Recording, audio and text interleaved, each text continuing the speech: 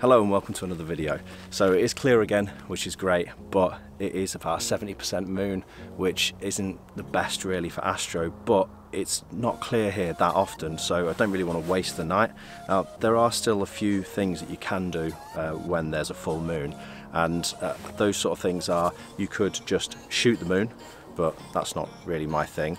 Um, you could go and take some foreground shots because the moonlight lights them a lot better and then you can um, uh, replace the sky later on those with other composite images. Uh, or you could um, I've just been looking into um, using filters.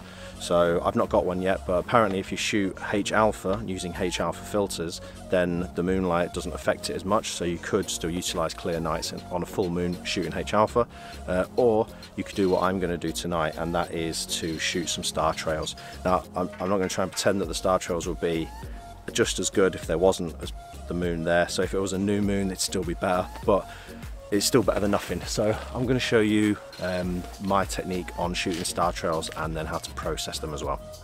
Hello, uh, right, so uh, before we jump into the computer and I'll show you with the screen recording, let's do confession time. So I have um, massive schoolboy errored and managed to, I took my test shots, they were in focus. I've then put on the lens warmer and I've not taken any more test shots afterwards. I've just let the entire time lapse go. And uh, there are 440 shots that are all out of focus. So this is this is not only going to be uh, an editing tutorial. I guess it'll be a little bit of uh, how to uh, how to claw your way back from what could be a ruined night. So realistically with this, because we're shooting star trails, so there's, there's my test shots, yep, all good. Then I put the lens warmer on, and out of focus. All out of focus. Uh, realistically, because this is a uh, star trails, the worst thing that's going to happen here is that the stars are out of focus, so therefore it's going to bloat them. So actually they'll look slightly bigger in the trail, so uh, I'll get away with it. And because I've taken my test shots, I can just replace the sky back over a sharp images. So I've, uh, I've got away with it, but just make sure after you put a lens heater on that, that you take another test shot Right, what we're going to talk about then is, first things first, is uh, the difference between, um, you see images of colourful star trails, which is what you want, uh, uh, versus you see the images that are just of uh, completely white stars in the star trails. And I uh, used to take my images that way, um, and it all boils down to the exposure. So basically, if you, if you expose so that the whole um, whole frame is completely exposed right, you'll be blowing out the stars. You'll make all the stars look white. If you underexpose, which is what we're gonna do in this tutorial, this is what my underexposed test shot looks like. And it's a, I've shot at 135 millimeters. I've shot at f5.6. I've shot ISO 800 in 15 seconds. Um, and what that's given me is, as you can see here, this image is, is exposed right over to the left. It's, um, it's quite underexposed, but you can see, because of that, there is color in these stars. And that's the difference. If you were to expose uh, so that this was um, fully exposed to the right place, what you would be doing is blowing out all of those stars and you just have completely white star trails. Nothing wrong with it, just that if you want the colourful ones, this is how you do it. So yeah, so that's that's my exposure settings. Um, what we're going to do is then I um, import all of my photos into um, Lightroom first, and then what I'll do is just a general um, edit over the lot of them. So all I've literally done with this is I've upped the shadows, because obviously it was quite dark, up the shadows right to the top, and then the only other thing that I've done is um, sorted the vignette out on this on this lens. So that's literally all I've done. And then I'll just um, select that, select all of the photos. As I say, there were 440 of them.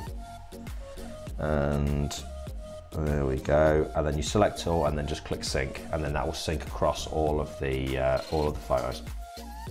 Right, so um, the uh, the easiest way of actually processing star trails is with a piece of software called StarStax and that's free. I'll stick a link to StarStax down below. You just download that. What we'll do is we'll go into that now.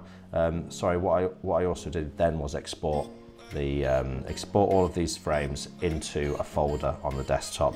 Um, if if you want this to be the best quality, then you'll export it them each of them as TIFFs and then run them through as TIFFs. But uh, for the purpose of this, and also my final image that I'm showing as the thumbnail that I'll be posting everything, it's all just done with JPEG. So it's you know, it's, uh, it's fine using as JPEG. If you're going to print, I guess you could use it. You could export them as TIFFs and then run them this way as TIFFs. It, you get a better image, but realistically, yeah, it doesn't really matter. So anyway, this is StarStax. It's pretty straightforward. You just top left, and that's where you're going to open your images.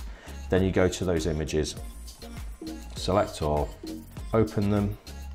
They'll be in here. Um, over this side, go to gap filling, go to comet mode, all the way to the all the way to the far end long trails and then all you'll literally do is click this one which is the process. Uh, what you could do is um, either in Lightroom first or once you've um, exported them into here go through each of your frames and just see if there are any with planes in. So you see this plane that's coming across now that will eventually work its way well that will work its way into the image and there'll be that a plane streak across the image.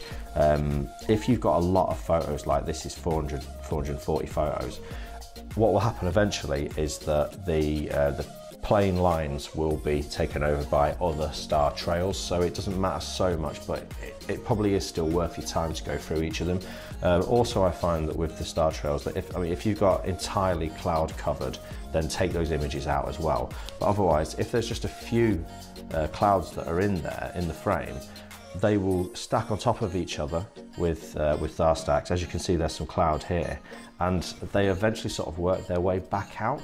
Um, I guess you'll see what I mean in the final image. So basically all you do is click, um, hit start processing. What you can also do is save after each step, which I have done previously. I'll stick the time lapse of each of those shots going through, uh, just so that you've got them. It saves each individual one, then you can stick that in a timeline and run a time lapse with it. Uh, but be warned, it takes twice as long, literally twice as long. It took me 40 minutes to run 400 shots through. So what I'm gonna do is I'm gonna jump into Photoshop and show you the final StarStax image, which is this. This is what's come out of StarStax. Um, and this is what it means by the comet mode. It looks okay, it looks pretty decent. I really like this large one that's gone right through.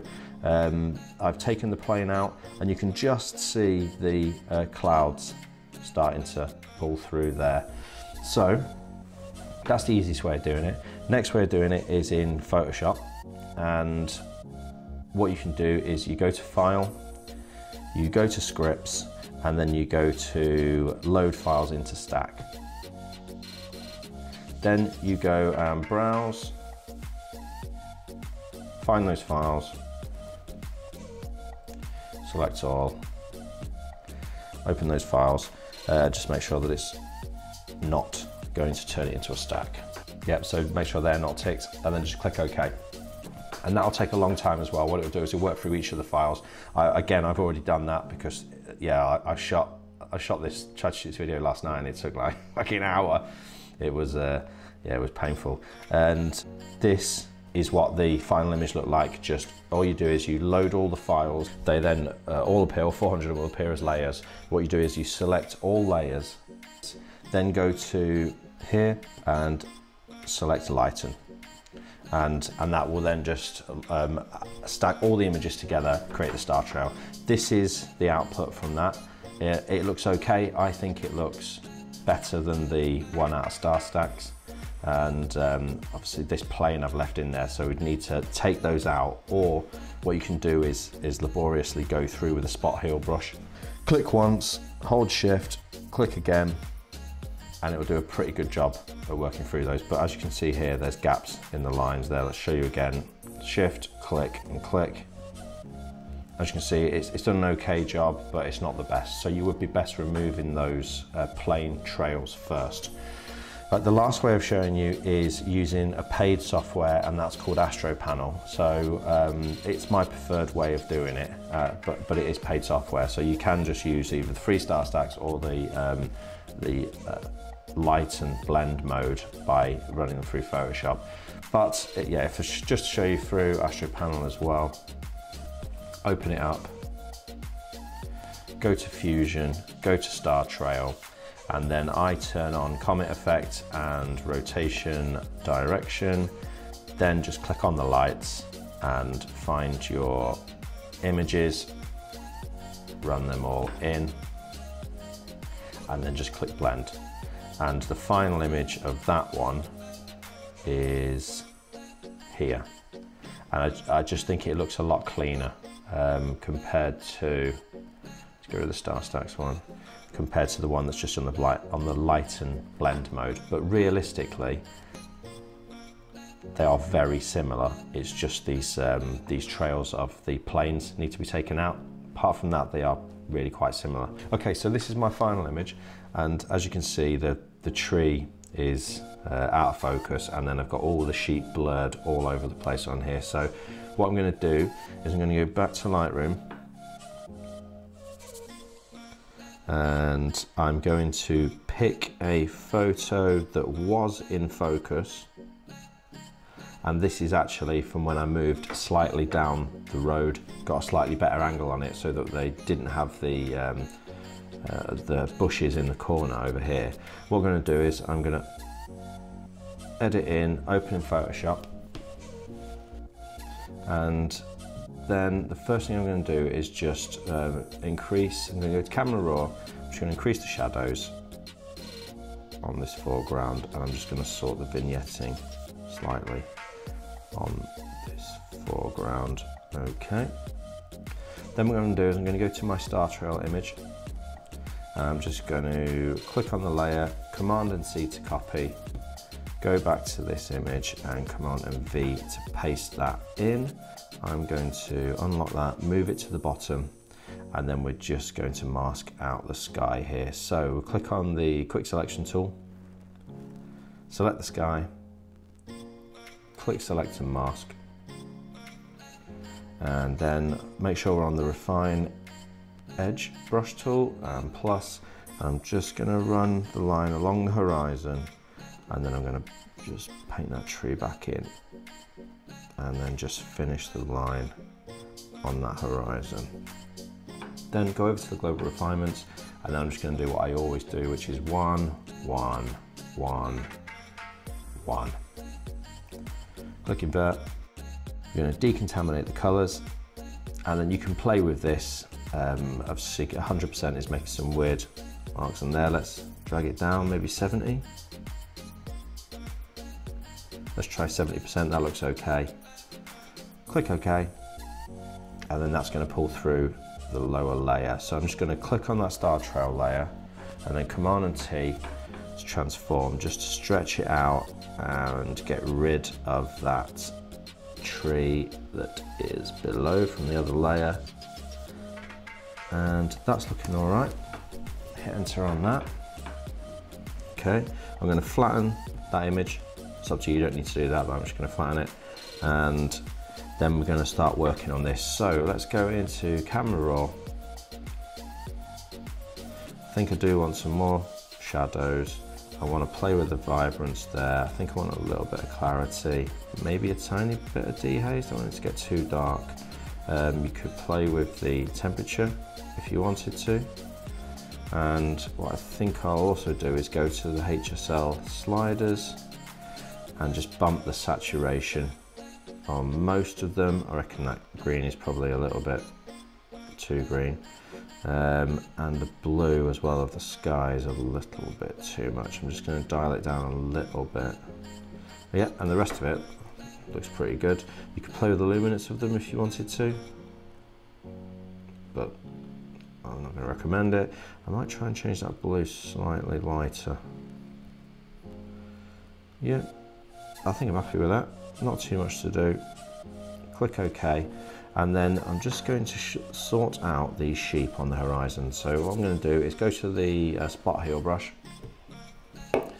and I'm just going to work through them. Get rid of those sheep.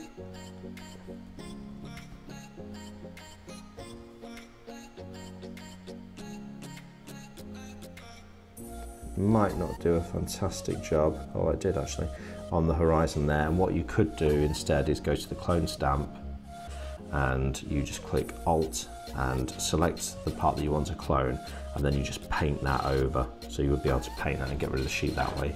But it normally does a pretty good job with Spot Heal. So you can see that the plane's just going through there, but it's it's not too bad. It's mostly removed it. So that's it. You could go into Camera Raw and do as much of the processing as you wanted to, but this is it, this is the final image. I'm quite happy with that. I hope this was useful. Realistically, what, what it's not necessarily about the um, post-production as much, it's about how you shoot the star trails. And if you slightly underexpose those stars, you keep all of this color in all of the stars. Uh, whereas if you bump the ISO too far, then you'll blow it out you'll just have completely white stars. That's it, I hope it was helpful. If you do make anything using this tutorial, please tag me when you post it on Instagram or whatever, that'd be great. And uh, that's it. So thank you very much for watching and I'll hopefully see you again soon. Take care.